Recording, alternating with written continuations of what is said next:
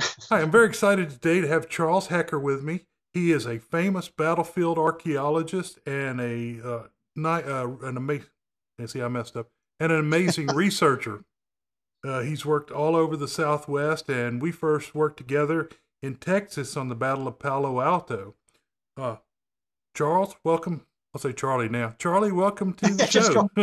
Thank you. Great. Great to be here.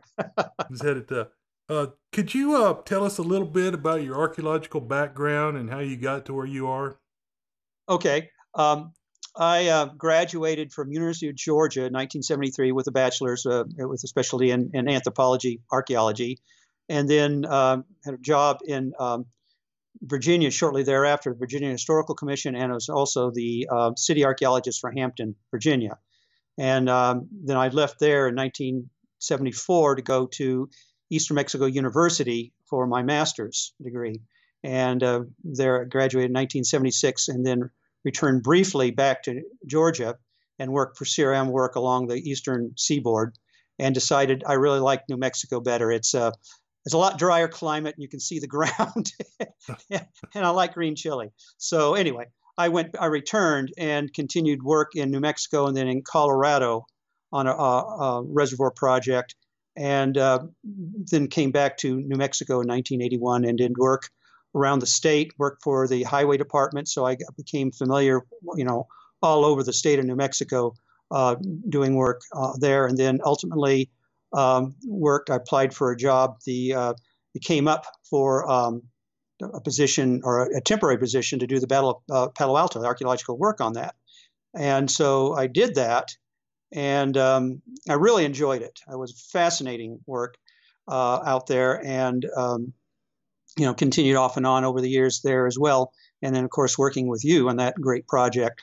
So uh, I've been involved with battlefield work after that, and inserted myself where I could, working with Doug Scott at, uh, um, excuse me, at Little Bighorn, and uh, at the battle. Uh, I mean, battle the massacre, Washita, or not Washita, excuse me, uh, Sand Creek massacre site, and that we worked on that. And I've gone up there several times after that. And then I mentioned the um, the Battle of the Washita. That's also another um, Custer uh, great, no, whatever debacle, if you will. Uh, so I've been involved in that. Got more interested in my area, uh, Apache research, uh, because that's almost literally my backyard. We have Apache encampments not too far from Santa Fe, and worked on those and worked with uh, Chris Adams, who's a archaeologist for the Gila National Forest. Okay. And he and I have been uh, working together since 1997 on a number of projects locating Apache encampment sites and uh, fight locations as well, and involved in the Coronado uh, work on, on identifying uh, battle sites related to the Coronado expedition. So I was uh, in 2000 had become the archaeologist for the National Historic Landmarks Program for the uh, Intermountain region. It's from Montana to Texas. So um, I uh, had my I was allowed to get my program involved in doing research on 16th century uh, Spanish uh, Entrada sites, specifically more, more on uh, Coronado, and also worked in Mexico too, as well. Well, that's fantastic. Um, what? oh, I just had a great question, but it just floated right out of my head. well, I wanted to. I'm really, uh, really excited to talk to you about uh, Geronimo. You threw so many topics in there. I was like six or seven questions ahead. I was at Fort Pickens this morning when I woke uh-huh. up. So, uh, but he was uh, oh, Geronimo yeah. was held there for a little less than a year. Yeah. So I, have been there too. I saw that. Yeah. So, so you actually um, used the metal detector technology and you were actually able to find Apache camps that no one else had found? Yes, this, this goes back. Uh, initially, it's doing uh, research that we knew a fight took place in this area. But when I say this area, it could cover who knows how many square miles. And reading the, the soldiers themselves, you have only written accounts, of course, but they didn't really know. It's terra incognita for them. So you're going by, uh, we traveled X number days. We, you know, they, they would have so many miles to a spring, and the spring may or may not have a name at that time, or the spring name has changed. But in, in any event, what Chris and I have been doing since the 19, uh, excuse me, 1990s, uh, 1997, is that uh, becoming familiar with the landforms, how the Apaches would use the landforms for defensive purposes. and it all depends, of course, where in uh, the desert Southwest we're talking about. In our area, say in, in southwestern New Mexico, um, southeastern Arizona, you have uh, ridges and very rough terrain. And uh, the Apaches would have their encampments on the top of these ridges, but they'd always have an escape route. And um, they were very careful about not giving their position away uh, with smoke. So if there would be like in a saddle of a ridge, you would have generally some trees and there's some juniper. If any, that would might be where they would have there any campfires, so it would be dispersed by the trees. So we'd also be looking for any uh, culturally modified trees where limbs have been cut off with hatchets and lichen has grown over it. So we know it had been cut a long time ago. So we knew we were approaching an Apache encampment. And often as not, um, there would be no physical evidence, so surface, uh, superficial evidence of you know artifacts, but we would simply would do a metal detecting sweep, and it's really amazing how many often that uh, it'd be a nondescript ridge, and you do find this. You do find uh, remnants, and they really are using a lot of metal. Uh, there's this attitude, belief that well, the, you know, Indians by and large didn't use metal. I don't know how that has gotten to that form. They love metal, boy, I tell you. And um, you would find uh, sometimes the arrow points themselves, metal points made out of, uh, of say, a barrel hoop, and be chiseled into shape and filed. And uh, then you'd find something, not the arrow points, you'd find the scrap for making the arrow points, plus other detritus that is indi- indication of an Apache encampment. Um, something called, it's a piece of a Mexican bridle called a coscojo, it's a jingle. And you'd have a series of these on, on the bit. And uh, often not, you'd find those, and you actually find those in Plains Indian camps as well. But uh, you'd find those in some other objects. And, and, one campsite that we found in the Florida Mountains in New Mexico, in the extreme, it's near the Boot Hill, um, uh, we found a wickiup, which is a structure that the it was grass uh, structure with bent uh, uh, limbs, but it was actually using a living tree, and they used the bough of this ancient uh, juniper there as part of it, and then uh, would have the branch. The branches are still there, plus a stone pestle up in a, still resting in the crook of, of, of, the branches. There it was, and we found all along in there material from their deep raids into Mexico, uh, just from the dates of the 18th century.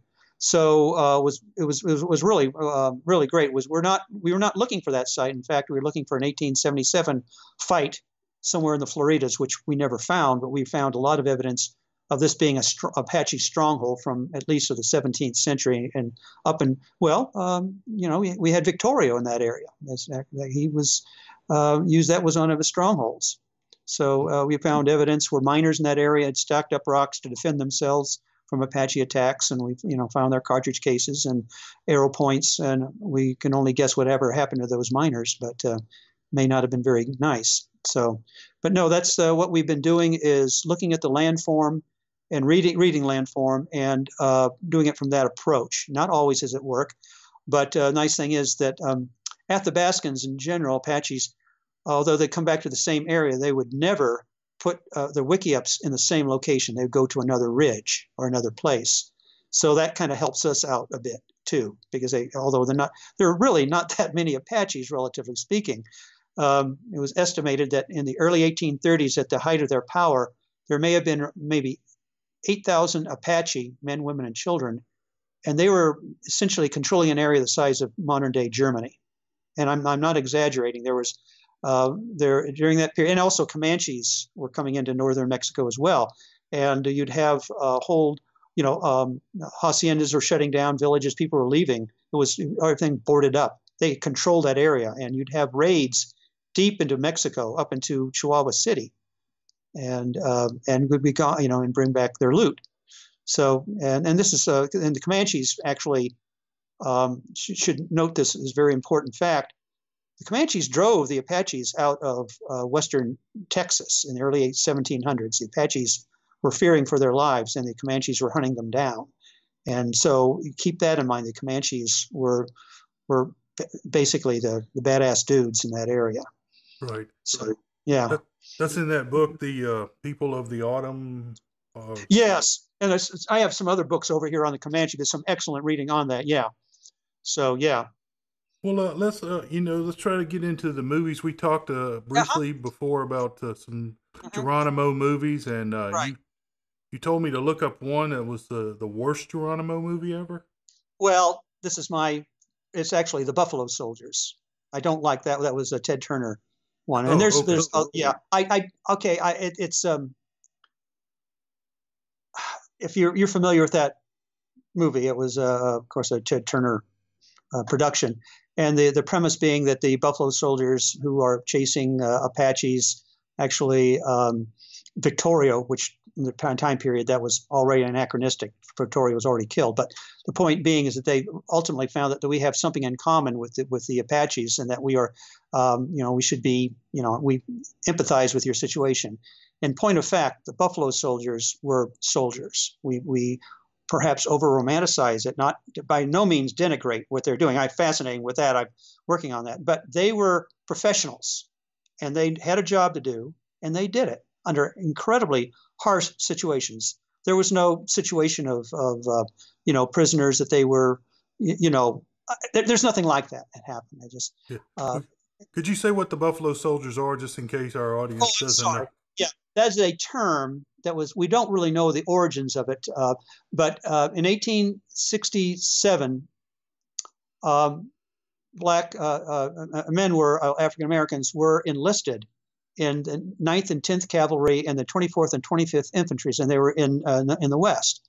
And they were termed as a one theory is that the Indians, being their hair, reminded them of, of the buffalo, of being that kind of that kind of the, the hair being of that. And that's why re- referred to it. And the, the other idea is that they were it was a remark of uh, respect, which for them, which I imagine they did. But they, you know, once again, um, the Apaches, Comanche, they, they uh, understood the um, the troops, the U.S. troops that were chasing and whatever. They, uh, although they could run circles around them, they did respect them uh, to a sense. But by by God, they're protecting their own homeland, and they're going to kill them pretty ruthlessly if they had to. I mean, and there's enough incidents of that.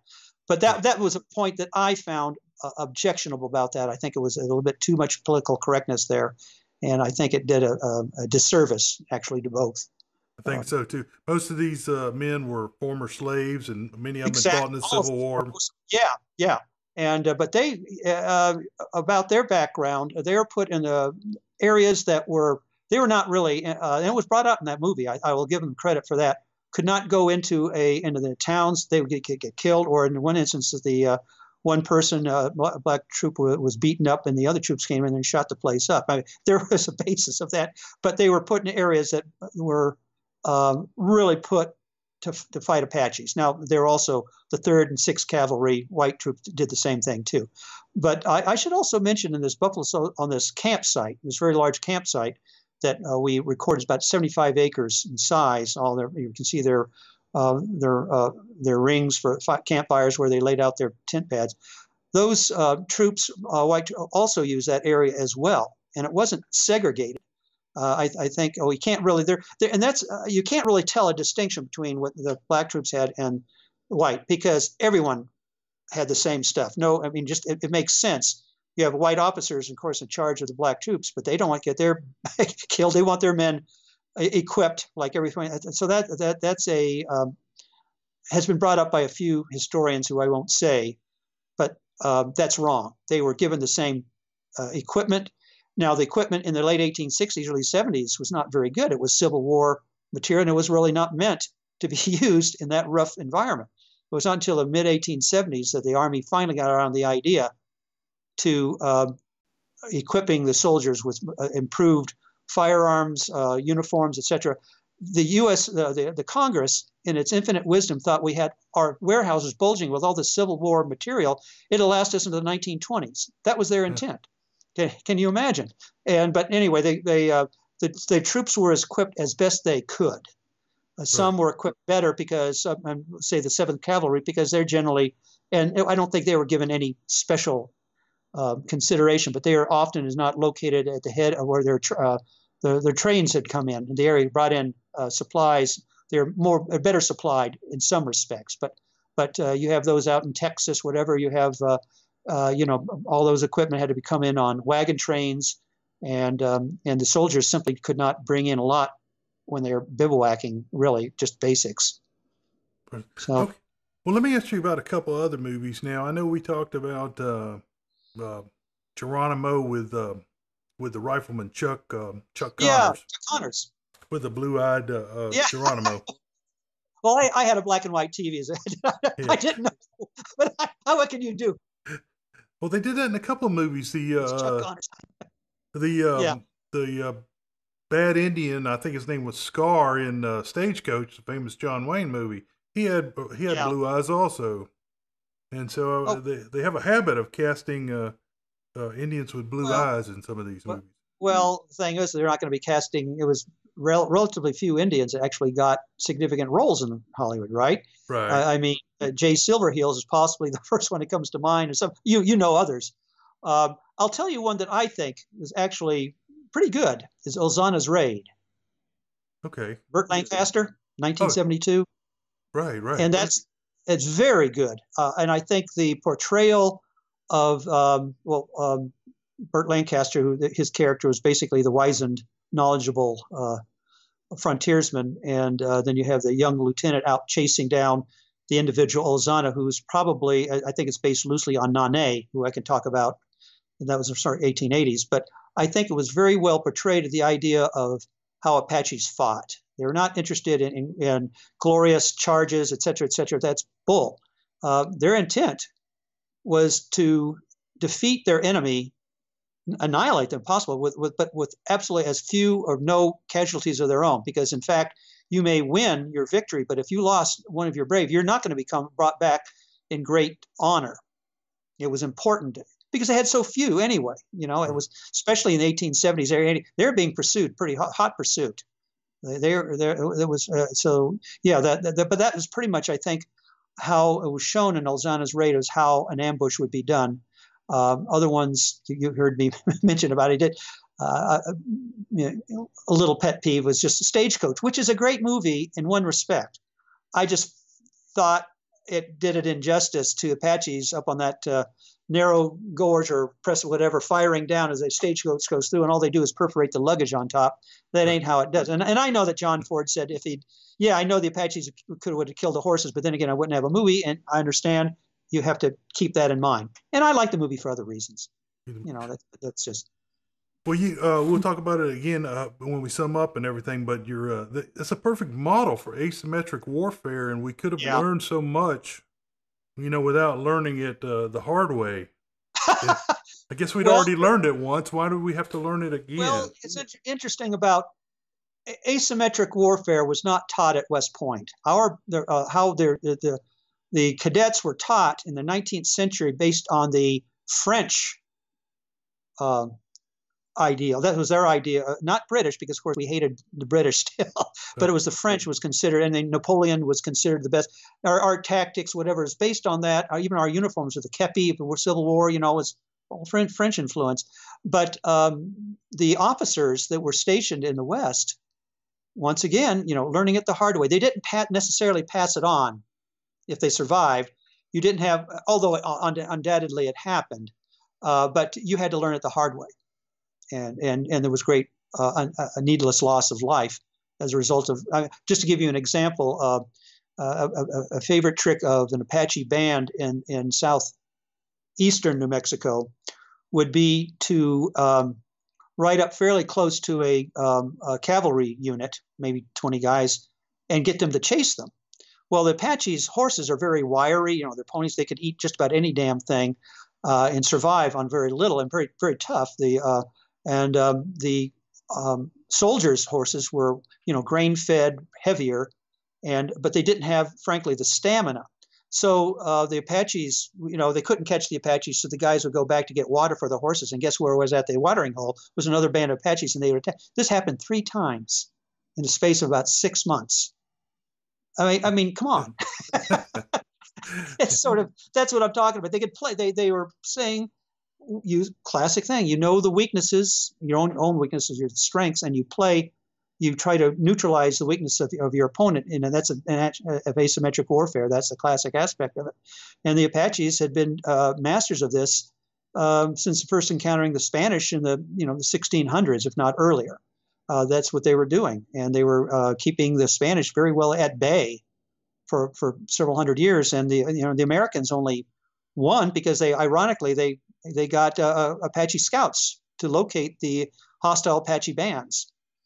And the other terrible irony, as you know, is that uh, when Geronimo finally surrendered, guess who went on the uh, rail car to uh, Fort Pickens was those Apache scouts. I always thought it was a great one act play of the conversation in that damn cattle car as they were heading east.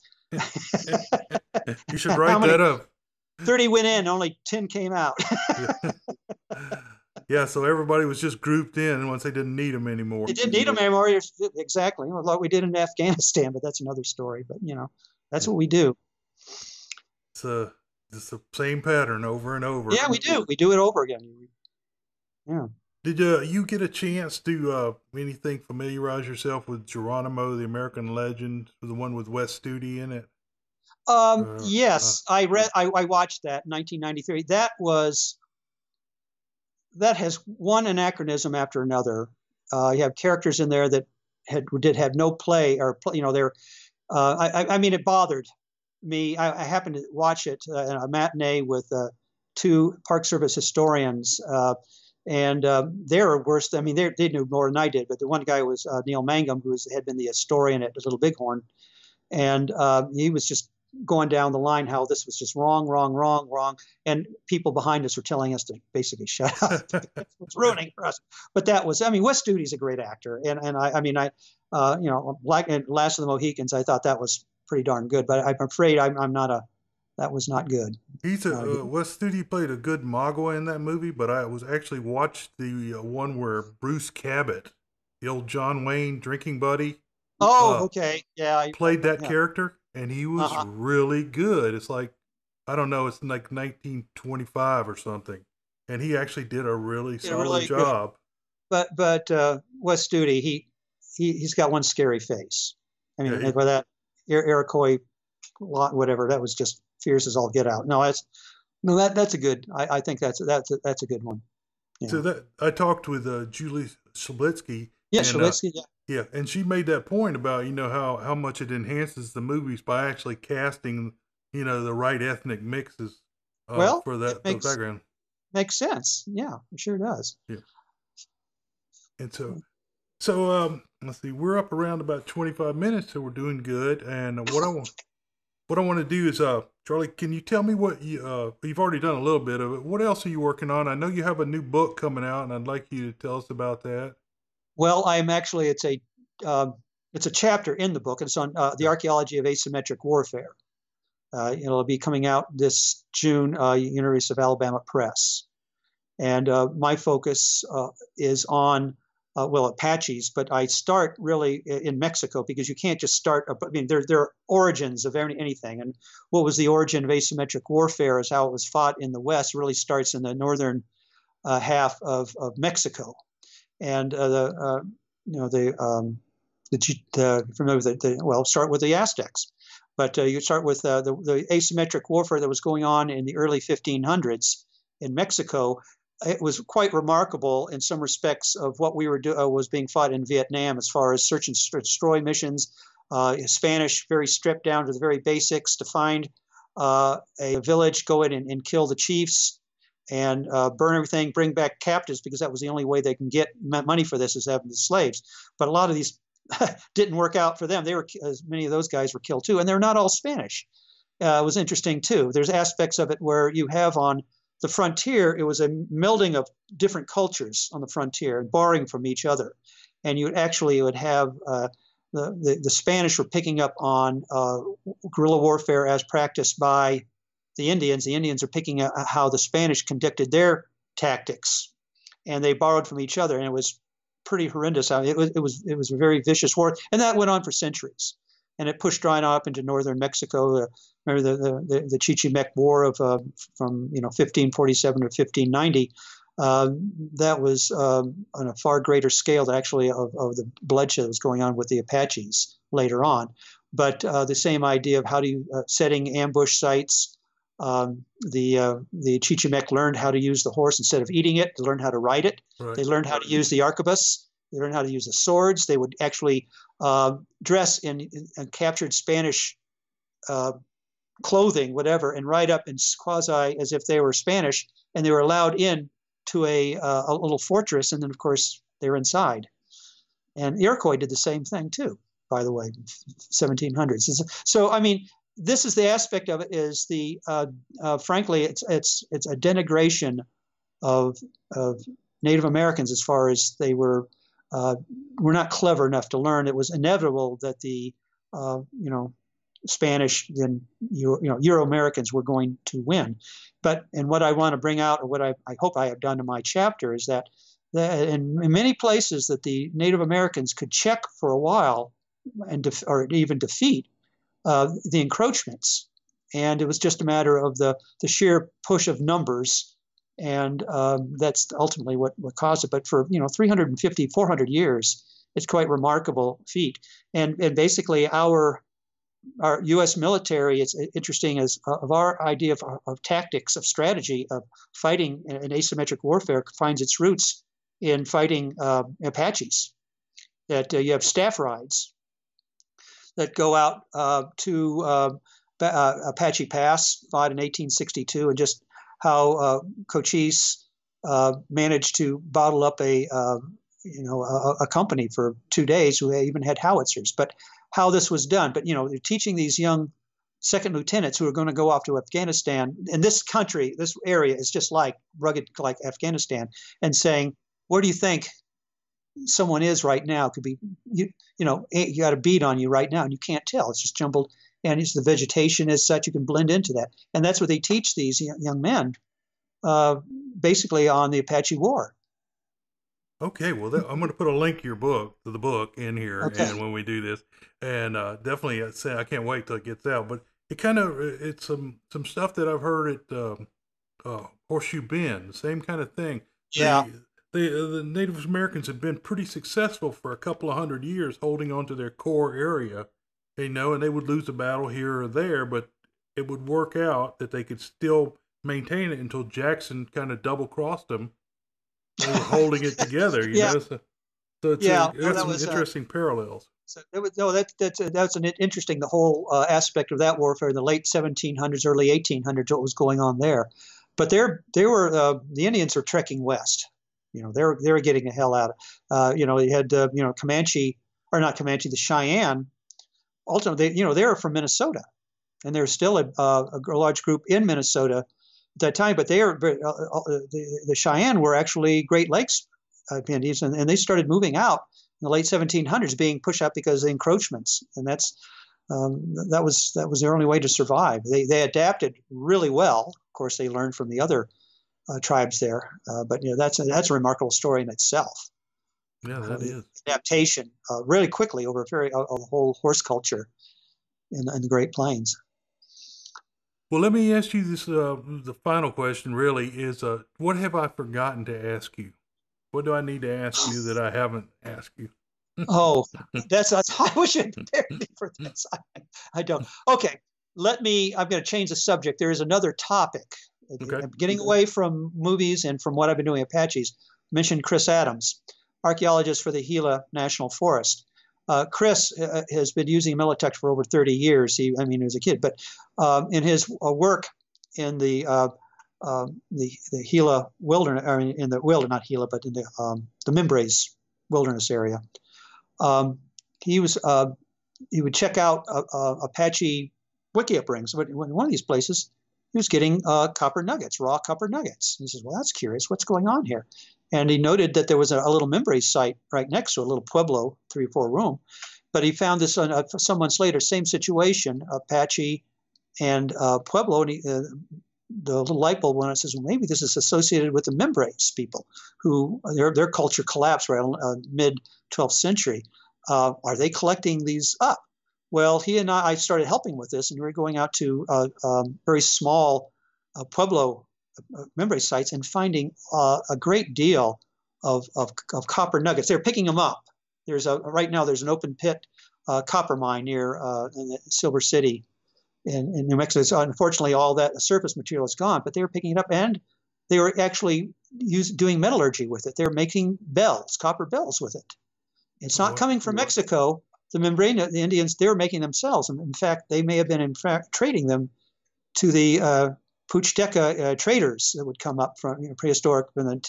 So um, also scraping out the um, the, the, the mineral, the uh, color like malachite, whatever, and using it for paint. And you find that for, uh, for, for finding that too. So uh, I just put in a plug here for what Chris is doing. Uh, he's found uh, now, I think, up to 27 Mimbres sites that have copper, 100, uh, I think, copper bells. we found tubular beads, copper tubular beads now on, you know, on white sands in that area. so we're doing, um, um, you know, X-ray fluorescence on. We're, we're trying to identify the sourcing of the copper. Actually, uh, um, lead isotope analysis, really, because you can't get that off of uh, X-ray fluorescence. But um, that's what we're trying to do is sourcing now the, the copper for this. And it could be that uh, we, we think it could very well be that this is a trade item with the Chaco people, that no one's ever used really? a metal detector. Who uses a metal detector in a prehistoric pueblo, right? right. You know, because would, no one thinks of metallurgy with that. But now you have uh, the Mimbres people are using it for at least you know, 100, 200 years, and no one, our archaeologists never, if you don't think of it to look for it, you're not going to find it. They probably, right. in their screening, flipping off all that little pieces of rocks and that, some of that stuff was actually copper or whatever. So um, I just want to put a plug in for that for that kind of a work that, that this is what we're finding now using a metal detector and thinking outside the box. Y'all are really uh, putting some new uh, information down with what you've been doing out there. It's pretty exciting we're using the PXRF on the cow and trying to yeah. source oh, the different yeah. combatants. And yeah, yeah, and it's an exciting time in archaeology right now. It sure is. It sure is. God, yeah. I wish I, I would love to have gone back to some of the sites I recorded 40 years ago and what I what I could have found by it, but we didn't have the technology. If so we'd have just known. We'd only known. yeah. Well, Charlie, it's great talking to you, and I think we could uh, do three or four hours of tape here. well, no problem. Uh, you have some fascinating stories, and I really appreciate you taking the time. And uh, I hope everybody will like this.